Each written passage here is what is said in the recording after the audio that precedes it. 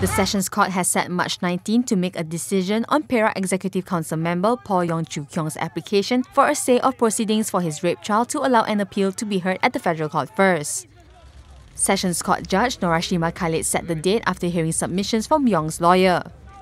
Meanwhile, the prosecution said they have no objections on the application filed and will leave it for the court to decide. Yong's application to transfer his case from the Sessions Court to the High Court was dismissed in December last year. In February, the Court of Appeal had also dismissed Yong's appeal to transfer the case to the High Court.